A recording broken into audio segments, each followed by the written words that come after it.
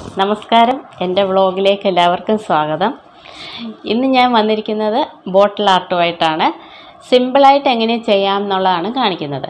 അതായത് പടം നന്നായിട്ട് വരയ്ക്കാൻ അറിഞ്ഞുകൂടാത്തവർക്കൊക്കെ വരയ്ക്കണമല്ലോ. അതിന് വേണ്ടിയിട്ട് ഒരെണ്ണം ഇത് പിന്നൊന്ന് വേണ്ടിത് അങ്ങനെ രണ്ടെണ്ണം. പെട്ടെന്ന് ചെയ്യാൻ വേണ്ടിയിട്ട്. പിന്നെ ഇതിന് വേണ്ടിയിട്ട് ഞാൻ യൂസ് ചെയ്തിരിക്കുന്നത് എന്റെ ഒരു ചുരിദാറിന്റെ ബാക്കി പീസാണിത്. ഇതിനെ വെട്ടിയെടുത്തിട്ട് എങ്ങനെയാണ് ചെയ്യുന്നതെന്നാണ് കാണിച്ചിരിക്കുന്നത്. പിന്നെ ഇതിന് വേണ്ടിയിട്ട് ഞാൻ യൂസ് ചെയ്തിരിക്കുന്ന സാധനങ്ങൾ ഇത് അക്ലിക്കിന്റെ ഗോൾഡൻ പേൾ മെറ്റാലിക് കളറ് പിന്നെ three D liner three D liner black വേണ്ടിയത് ഇത്. മസ്റ്റായിട്ടും വേണം. പിന്നെ സീക്വൻസ് കൊടുത്തിട്ടുണ്ട്. ഇവിടെ വേണ്ട സീക്വൻസ് കൊടുത്തിട്ടുണ്ട്. പിന്നെ വൈറ്റ് കണ്ണിന് വൈറ്റ് അടിക്കാൻ വേണ്ടി വൈറ്റ് പിന്നെ റെഡ് ബാക്കിൽ യെല്ലോയാണ് കൊടുത്തിരിക്കുന്നത്. അപ്പം ഈ കളറൊക്കെ നമുക്കിഷ്ടമുള്ള കളറ് നമുക്ക് സെലക്ട് ചെയ്യാം. മുഖം എനിക്ക് തോന്നുന്നു ഗോൾഡൻ തന്നെയാണ് നല്ലത്. ഞാൻ വേറെയൊക്കെ ചെയ്തിട്ടും എനിക്ക് ഗോൾഡൻ ആണ് ഇഷ്ടപ്പെട്ടത്. അപ്പോൾ ഇത്രയാണ് സാധനങ്ങൾ വേണ്ടത്. കാണിച്ചു തരാം. അതിന്റെ അക്ലിക്കിന്റെ യെല്ലോ വൈറ്റ് പിന്നെ ഇത് ഗോൾഡൻ കളറാണ് ഫേസിന് വേണ്ടിയിട്ട്. അത് പേൾ മെറ്റാലിക്ക് തന്നെ മേടിക്കണം. പിന്നെ മസ്റ്റായിട്ടും വേണ്ടത് ഈ ത്രീ ഡി ലൈനറാണ് ഇതുണ്ടെങ്കിലാണ് നമുക്ക് കണ്ണും കണ്ണും ഈ പിരികം ഈ മൂക്കിന്റെ ഇവിടെയൊക്കെ നല്ല ഫിനിഷിംഗ് ആയിട്ട് വരയ്ക്കാൻ പറ്റത്തുള്ളൂ. കാരണം എന്താ വെച്ചാൽ ഇത് കണ്ടോ? ഇങ്ങനെ ഇരിക്കുന്നതുകൊണ്ട് നമുക്ക് നല്ലതായിട്ട് നമ്മൾ പ്രസ് ചെയ്ത് കൊടുക്കുമ്പോൾ തന്നെ നന്നായിട്ട് വരയ്ക്കാൻ പറ്റും. അപ്പോൾ അത്രയും മതി. ഈ ഇതിന് വേണ്ടിയിട്ട് നമ്മൾ യൂസ് ചെയ്തിരിക്കുന്ന സാധനങ്ങളെല്ലാം ഇത്രയും സാധനങ്ങളാണ്. ആ ബ്രഷ് കൂടെ വേണം. മസ്റ്റായിട്ട് അത് മറന്നുപോയി. ബ്രഷ് പല ടൈപ്പിലെ ബ്രഷ് വേണം.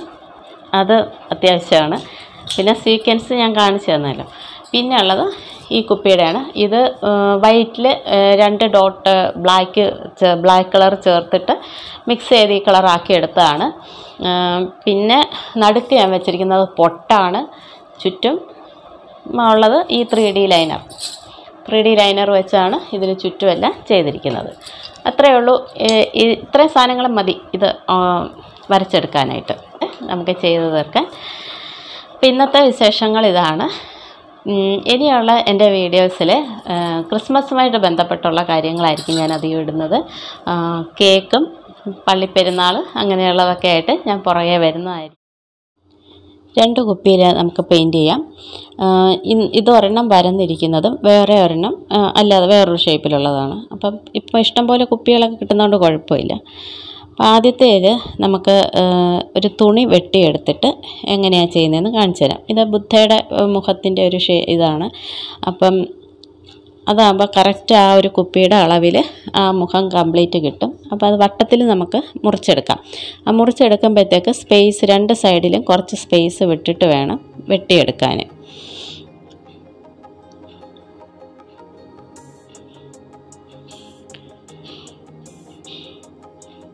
എന്നിട്ട് അത് കറക്റ്റ് ആ കുപ്പിയുടെ മുകളിൽ വെച്ച് തന്നെ നല്ല ആ കുപ്പിയുടെ ഷേപ്പിൽ നമുക്ക് വെട്ടിയെടുത്തതിന് ശേഷം ഒരു പശ കൊണ്ട് അത് ഒട്ടിച്ച് വെക്കാം.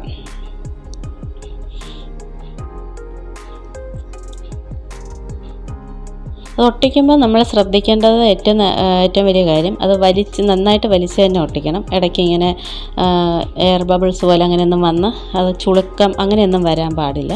അപ്പോൾ അത് കാരണം പിന്നെ മുഖത്തിന്റെ ഷേപ്പ് അങ്ങോട്ടും ഇങ്ങോട്ടും മാറാൻ പാടില്ല. കണ്ണൊക്കെ നല്ല കറക്റ്റായിട്ടിരിക്കണം അത് മാത്രം ഒന്ന് ശ്രദ്ധിച്ചാൽ മതി. ഒട്ടിക്കുമ്പോൾ ഇച്ചിരി വലിച്ച് വലിച്ച് ഒട്ടിച്ച് കൊടുത്താൽ മതി.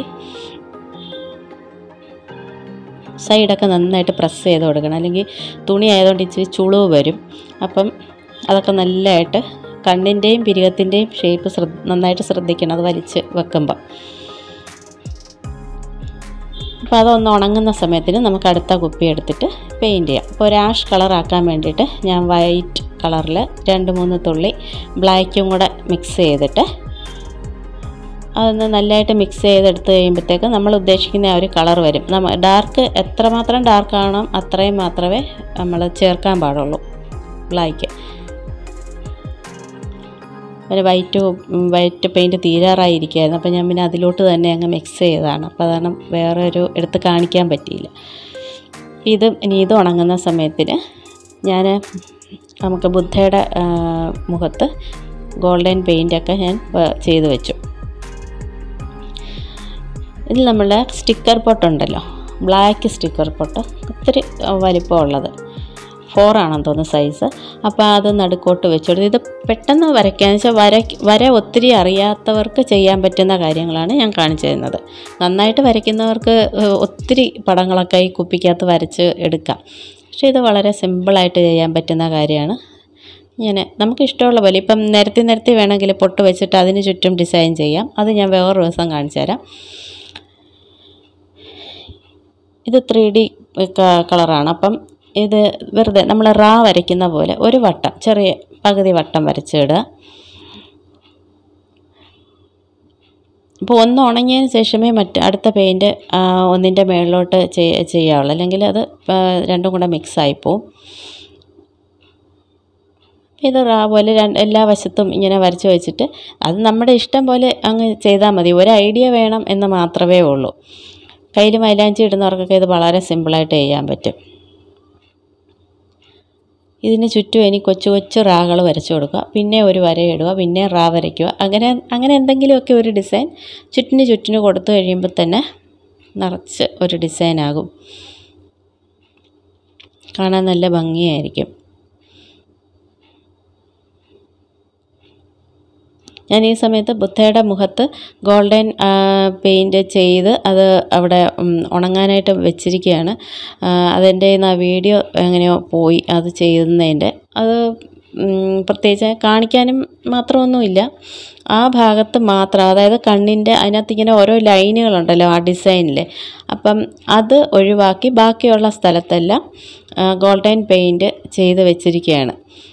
അപ്പം പിരുകം കണ്ണ് മൂക്ക് ചുണ്ട് ഇതിലൊന്നും നമ്മൾ ഗോൾഡൻ പെയിന്റ് ആ ലൈൻ ഉള്ളിടത്തൊന്നും കൊടുക്കാതെ ബാക്കി ചുറ്റുഭാഗങ്ങളിലെല്ലാം ഗോൾഡൻ കളർ കൊടുത്ത് ബ്ലാക്ക് ലൈൻ അത് നമുക്ക് ബ്ലാക്ക് ഈ ത്രീ ഡി പെയിന്റ് വെച്ച് ചെയ്യാം. അപ്പോൾ ഇത് അവസാനം അതിന്റെ താഴോട്ട് വെറുതെ ഒരു കുറേ വരകൾ പോലെയൊക്കെ ഇട്ടിട്ട് അതും ഒരു ലാസ്റ്റ് ഫിനിഷിങ് പോലെ കൊടുത്തു. അപ്പം ദേ തീർന്നു. ഒരു വർക്ക് കഴിഞ്ഞു. അപ്പോൾ ആർക്കും നമുക്ക് ചെയ്യാം. ആർക്കൊരു വിഷമം തോന്നിക്കണ്ട. എനിക്ക് ചെയ്യാൻ പറ്റുന്നില്ലല്ലോ എന്ന്. ഇതൊക്കെ സിമ്പിളായിട്ട് ആർക്കും ചെയ്യാൻ പറ്റുന്ന കാര്യമാണ്. ഇതാണ് ഞാൻ പറഞ്ഞ ആ ലൈനായിട്ടുള്ളത് ഓരോ ബ്ലാക്ക് ലൈനുള്ളത് അതിന്റെ മേളിൽ കൂടെ നമ്മൾ അതിനെ ഒന്ന് ചെയ്തോണം കാരണം ബ്രാ മറ്റേ ഗോൾഡൻ കളർ നമ്മൾ ചെയ്യുമ്പോഴത്തേക്കും ആ ബ്ലാക്കിന്റെ മുകളിലെല്ലാം അത് കവറായി പോവും. അപ്പം അതിന് ഒരു പയ്യെ ഇത്തിരി ശ്രദ്ധയോടെയും ക്ഷമയോടെയും ചെയ്താൽ മതി. അതിനെ ഒന്ന് ഫിനിഷ് ചെയ്ത് കൊടുത്ത് വിട്ട് കഴിഞ്ഞാൽ ഇപ്പം ബ്ലാക്ക് ചെയ്യുമ്പോൾ ചിലപ്പം കൈ തട്ടി ചിലപ്പം കുറച്ച് ഇപ്പുറത്തോട്ടൊക്കെ ആവും. അന്നേരം ഗോൾഡൻ അത് ഉണങ്ങി കഴിയുമ്പം ഗോൾഡൻ പെയിന്റ് വെച്ചിട്ട് അതിനെ വീണ്ടും ഒന്ന് ഷേപ്പ് ചെയ്ത് കൊടുത്താൽ മതി.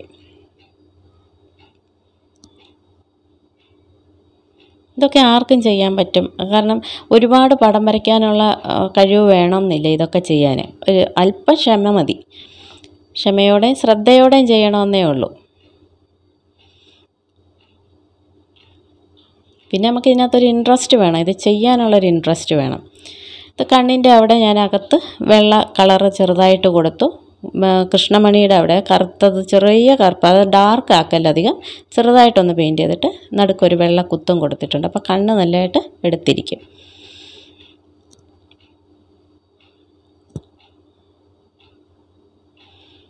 ഇതവിടെ ഒരു ഒത്തിരി ബ്ലാക്ക് കൂടിപ്പോയി. അപ്പോൾ ഞാൻ ഗോൾഡൻ കളറിൽ മുക്കിയിട്ട് അവിടെ ഒന്ന് ഷേപ്പ് ചെയ്ത് കൊടുക്കുകയാണ്. അപ്പോൾ അവസാനമാകുമ്പോൾ ഇങ്ങനെ എന്തെങ്കിലും കുറച്ച് ഫിനിഷിങ് പണിയൊക്കെ കാണും. നമ്മളതൊക്കെ ഒന്ന് ഷേപ്പ് ചെയ്തൊക്കെ കൊടുത്താൽ മതി.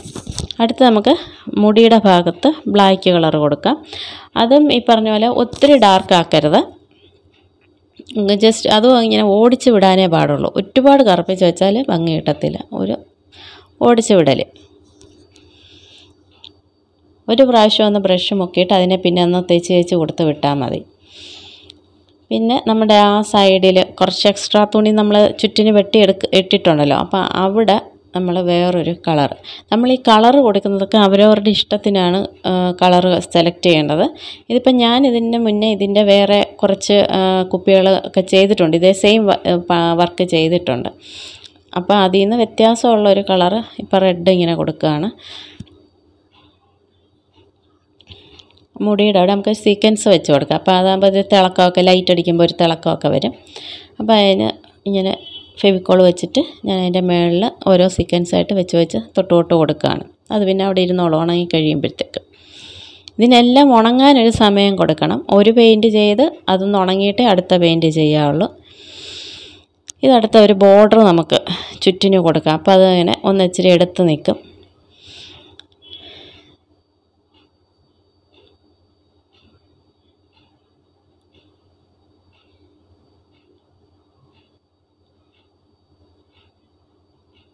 എന്ന് ചെയ്യുമ്പോൾ അത് കൈ ഒന്ന് കുറച്ച് ചെറിയ വിറവലൊക്കെ ഉണ്ടെങ്കിലും സാരമില്ല. നമുക്ക് അതിന്റെ മേളിൽ കൂടെ പിന്നെ ഒന്നും കൂടിയൊക്കെ ഒന്ന് ചെയ്തങ്ങ് കൊടുത്ത് വിട്ടാൽ മതി.